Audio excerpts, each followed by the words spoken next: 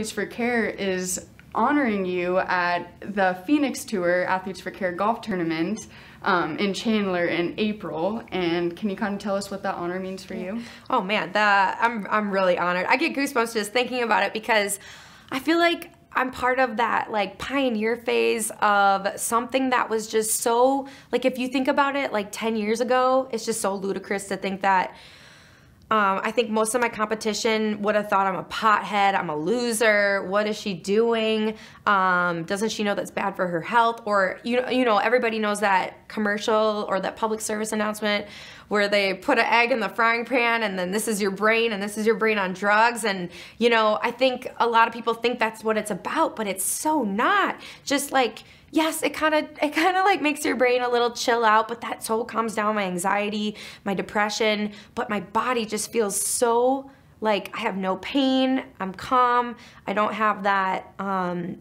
I'm not fighting the pain like I would normally and or waiting for those medications to like kick in. Like with medical marijuana, it's like an instant feel better.